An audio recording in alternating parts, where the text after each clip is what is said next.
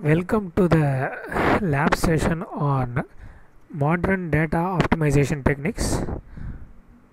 Today we will see about these two programs. The first program is about matrix addition, matrix subtraction, multiplication and transpose of the given matrix and finally inverse of the matrix. Let us see how it can be done using R language. So our first step in this program is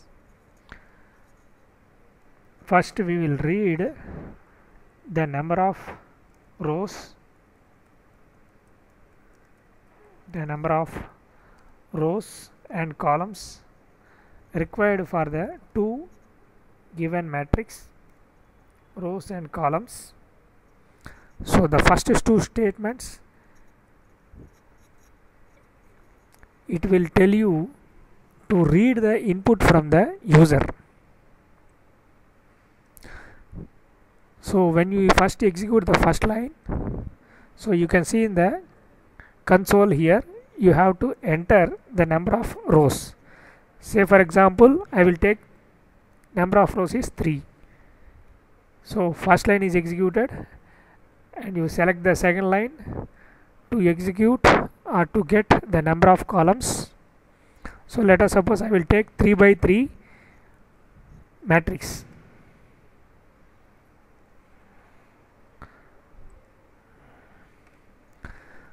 So for this case once we have read rows and columns our next step is initialize the matrix A so let us execute these two statements. We select those two statements and we click the run button. Okay. And the next step is to get the data from the console. So here our logic is we used two for loops one for uh, uh, row and another for column so when you are entering the data through console it will directly store in the A matrix. Let us see how we will pass the data.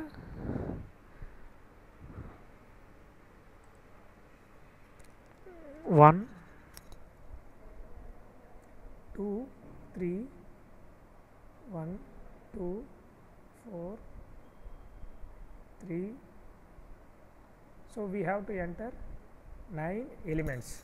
Similarly let us execute the B matrix statements.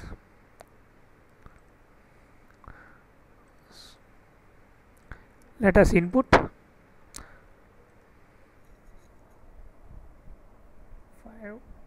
6 7 0 3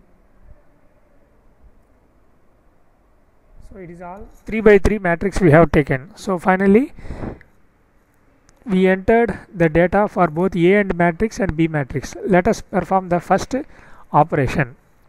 Matrix addition using R.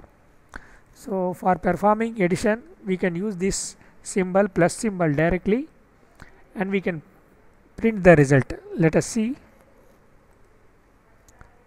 So the output of the A and B matrix are 6 8 10 2 2 7 8 10 9 that means uh,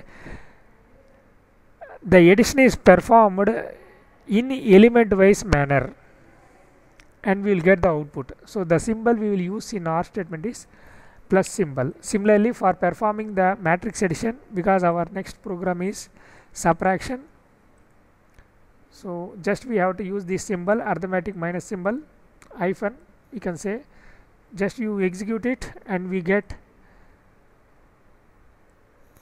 the matrix subtraction. Similarly R next task is to calculate the multiplication to between two matrix. So if you use the star symbol the main problem is in our language uh, elements are multiplied in element wise manner. So let us do first that one.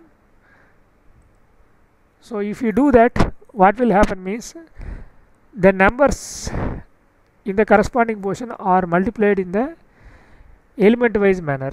But we want actual matrix multiplication. So what we will do means here the operators is you can see this operator percentile and multiplication and percentile. So this is the actual operator you have to use for performing the matrix multiplication. So let us run. So this is the exact output so how do you perform matrix multiplication?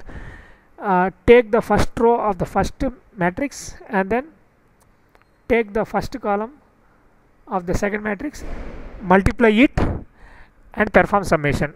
This you have to repeat for all rows and for all columns. So the main thing you have to understand is you can see the symbol here percentile star percentile. That is a symbol you have to use. Similarly for performing matrix transpose you have to use the function t function so you want to perform the A transpose means you use the T function and you pass the matrix A as a first argument. So let us execute. So you got the transpose of the matrix.